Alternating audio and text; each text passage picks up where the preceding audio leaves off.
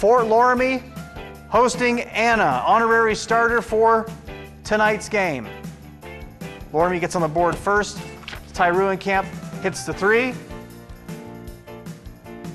Then Aiden Weirman laying it up and getting the and one as well, and he is fired up about it. More from Ruenkamp. He lays it in on the break.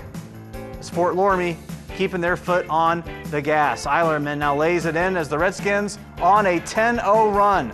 But Anna finally getting on the board. McCain Finkenbein driving and scoring. Nice looking uh, shot there. And then Finkenbein again with another nice move to get the hoop and the basket as well. To bring you the final in this one tonight. 55 39 Fort Loramie getting the win.